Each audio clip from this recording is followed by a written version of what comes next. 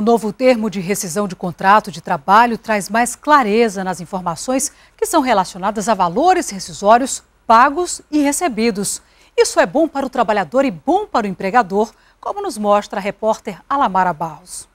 No início de fevereiro, o novo termo de rescisão de contrato de trabalho passou a ser obrigatório e a Caixa Econômica Federal vai exigir a apresentação do novo modelo para o pagamento do seguro-desemprego e do FGTS, Fundo de Garantia por Tempo de Serviço.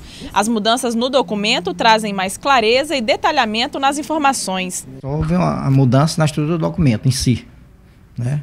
Não houve nenhum acréscimo no campo, nenhum campo. Simplesmente a, a, a, alguns campos vieram mais detalhados.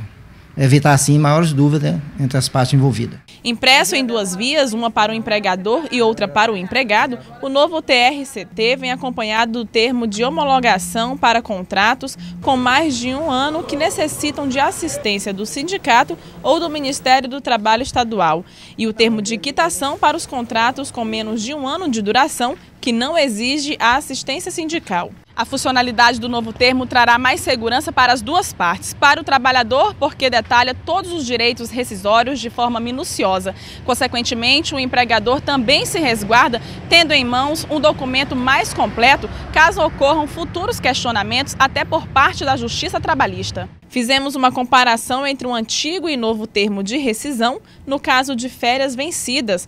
No antigo termo, se devido mais de um período aquisitivo, o valor total era lançado em um único campo.